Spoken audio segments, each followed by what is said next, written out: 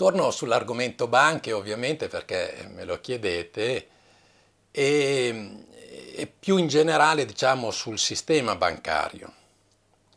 Eh, vi avevo lasciato il video precedente eh, parlando, accennando così alla riforma bancaria del 1936, dicendo che a mio parere era una buona riforma, anzi un'ottima riforma, eh, ma eh, senza spiegare i motivi del mio apprezzamento, cosa che invece appunto farò in, in questo video.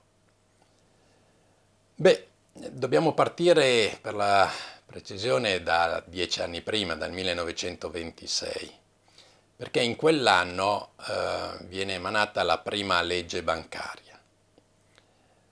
Ricordiamo che il, il fascismo, il regime era molto attento a questo argomento perché con ogni probabilità il caos che era eh, avvenuto in Italia in, sul, nel sistema bancario fin appunto dall'unità d'Italia era un po' alla base del malcontento che aveva poi permesso a Mussolini di eh, prendere le redini del governo.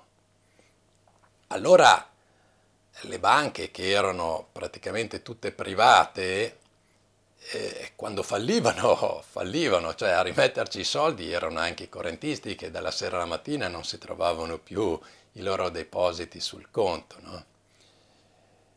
Quindi nel 1926 eh, il, appunto il regime fascista eh, mette mano al, a questo settore con questa legge bancaria che ha due caratteristiche principali.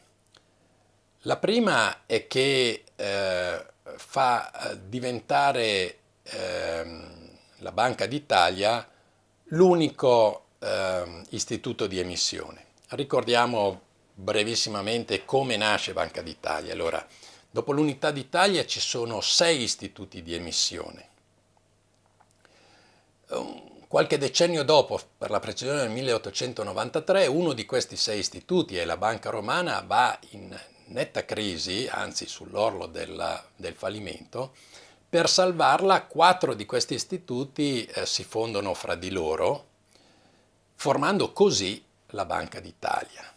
Quindi, quando nasce la Banca d'Italia, essendo fusione di quattro istituti privati, è una banca privata non è l'unico uh, istituto di emissione perché rimangono istituti di emissione il Banco di Sicilia e il Banco di Napoli.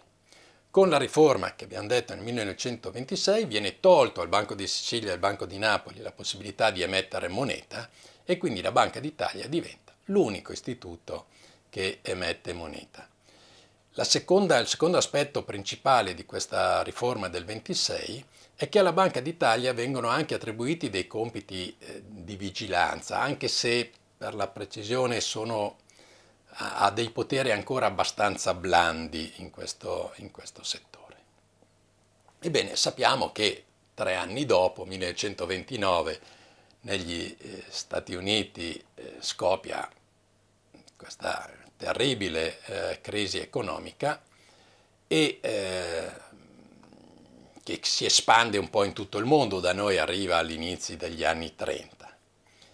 E quindi nel 1936 eh, il regime eh, mette mano ancora a questo, a questo, settore con questa seconda legge bancaria, stavolta molto più eh, così stringente rispetto alla, alla prima. Allora, innanzitutto viene eh, nazionalizzata la Banca d'Italia, quindi eh, diventa di fatto un ente di diritto pubblico. Okay? Eh, poi viene, eh, viene eh, cioè gli, gli, si danno ancora più poteri per quanto riguarda la vigilanza nei confronti appunto eh, di tutte le eh, banche che operano sul territorio italiano.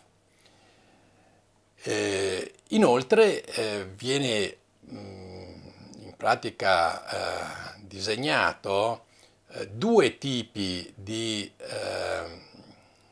di banche cioè gli istituti di credito che raccolgono eh, risparmio a medio e lungo termine e le aziende di credito che invece raccolgono risparmio a breve termine.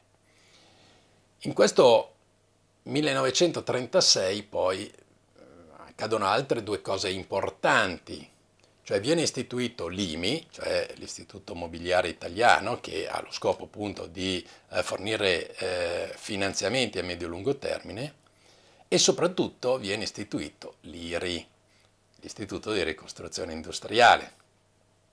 Sappiamo che poi dopo verrà smantellato da Prodi, altra operazione deleteria per l'Italia, ma comunque insomma. Ah, Nell'IRI eh, appunto ehm, vengono convogliati pacchetti di controllo delle principali banche italiane e della struttura bancaria che esce da questa eh, riforma eh, che è particolarmente importante e decisiva anche, eh, sarà decisiva anche nei decenni futuri. In pratica ci sono le BIN, banche di interesse nazionale, cioè sono strutturate come società per azioni e operano su tutto il territorio italiano, ma sono pochissime, il, il Credito Italiano, la Banca Commerciale, il Banco di Roma. Insomma. Poi ci sono le banche territoriali che invece si estendevano gener- generalmente su, su, territori abbastanza limitati, a volte una sola provincia o, o poche province, insomma. Eh, queste banche territoriali sono divise in due grandi gruppi, le casse di risparmio sotto il controllo pubblico e le banche popolari invece che sono private. Però attenzione, sono banche private, sì, ma costituite normalmente in forma di società cooperative e con voto capitario. Che cosa vuol dire voto capitario? Vuol dire che in assemblea, quando eh, gli azionisti votano, ogni azionista il suo voto vale 1 indipendentemente dal numero delle azioni possedute. Quindi se io ho un'azione e un'altra persona ha 10.000 azioni, quando votiamo il mio voto vale esattamente come il suo. Quindi eh, diciamo che è azionariato diffuso, oltretutto perché, altra cosa, eh, viene impedito che eh, qualsiasi società, ente o persona possa avere più del 5% del capitale della banca. Ma soprattutto eh, la Banca d'Italia, alla Banca d'Italia viene demandato l'autorizzazione per l'apertura di sportelli o filiali bancari. No? E la Banca d'Italia eh, mantiene una rigidissima politica in questo senso, cioè permette solo la, l'apertura di, di, filiali strettamente nella zona di competenza, evitando appunto uh, che uh, ci possano essere concorrenze tra i, i, i vari istituti che ne so, la, una banca popolare di Padova non poteva aprire uno sportello, una filiale a Vicenza, così come una banca popolare di Vicenza non poteva aprire uno sportello a Padova. Okay? Questa maniera di operare dava naturalmente grandi vantaggi alle, alle banche perché eh, appunto eh, evitando la concorrenza, eh, però attenzione, questa è la cosa fondamentale, importantissima che che questi vantaggi comunque poi a cascata venivano redistribuiti questi benefici alla popolazione.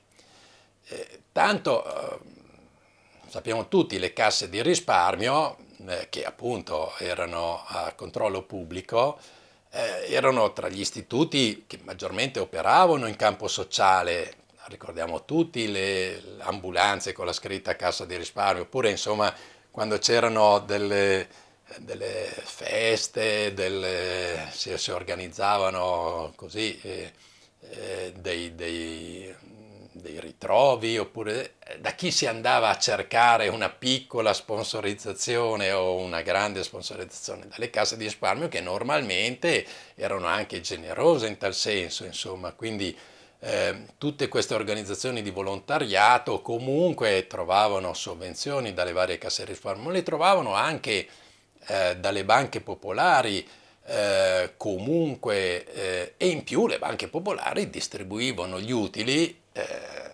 ai loro soci e ricordiamo, come ho detto prima, che eh, godevano di un azionariato diffuso.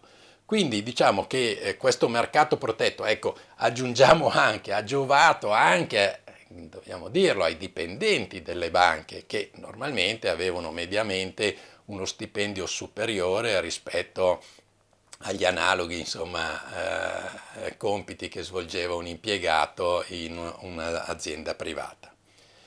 Ma soprattutto eh, questa eh, diciamo, protezione della quale godevano eh, le banche ha sempre permesso appunto alle banche di avere eh, conti in ordine, bilanci in ordine eh, e quindi questo aumentava la fiducia da parte dei risparmiatori. Insomma, una situazione, non dico idilliaca, comunque eh, una situazione che permetteva, che ha permesso lo sviluppo dell'Italia nel dopoguerra e che è stata totalmente sconvolta, scompaginata in nome dell'efficienza, come vi ho già accennato nel 1993, quando abbiamo introdotto il TUB, cioè il testo unico bancario, ribadisco, Presidente del Consiglio Giuliano Amato,